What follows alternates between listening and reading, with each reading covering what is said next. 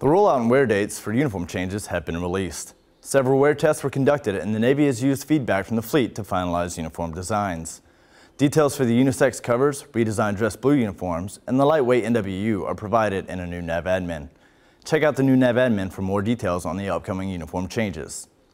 CNP plans to visit the 6th Fleet Area of Operations this week.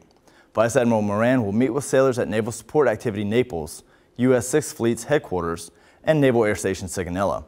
While there, he will host a series of all-hands calls to discuss new personnel initiatives. And finally, today is the Navy's birthday. On October 13, 1775, the Continental Congress authorized the arming of two sailing vessels with 80 men and 10 carriage guns in order to intercept British supply and munitions transports. Happy 240th birthday, Navy. For these stories and more, visit Navy.mil.